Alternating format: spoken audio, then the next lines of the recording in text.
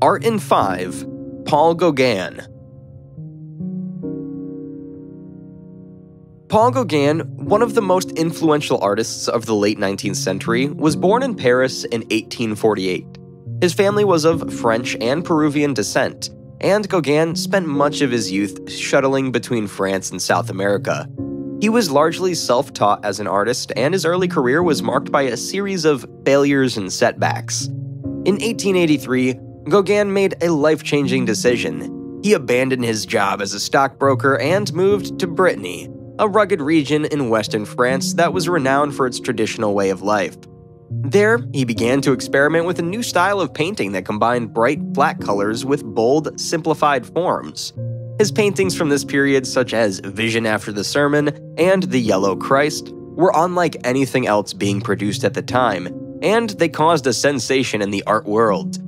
Despite his growing reputation as an artist, Gauguin remained restless. He was unhappy with the commercialism and conservatism of the French art scene, and he yearned for a more authentic, primitive way of life. In 1891, he set sail for Tahiti, a French colony in the South Pacific that he hoped would offer the inspiration and freedom he craved. The reality of life in Tahiti was far from idyllic. Gauguin struggled to adapt to the harsh living conditions, and he was often beset by illness and financial difficulties.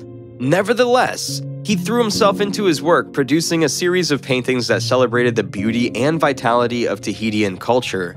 His most famous works from this period include Tahitian women on the beach, and Where Do We Come From? What Are We? Where Are We Going? Gauguin's time in Tahiti was fraught with controversy.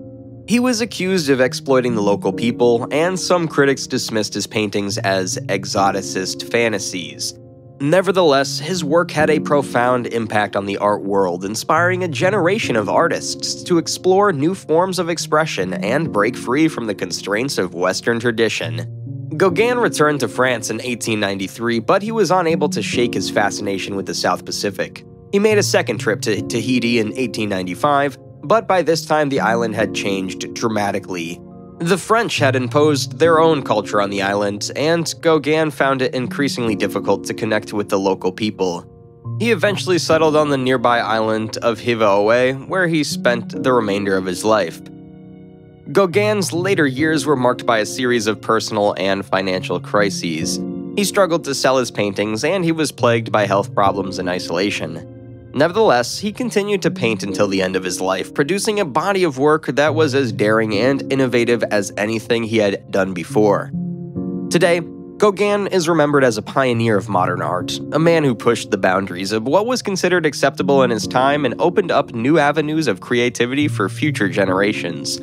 His work continues to captivate audiences around the world, offering a window into the exotic and mysterious worlds he so brilliantly captured on canvas.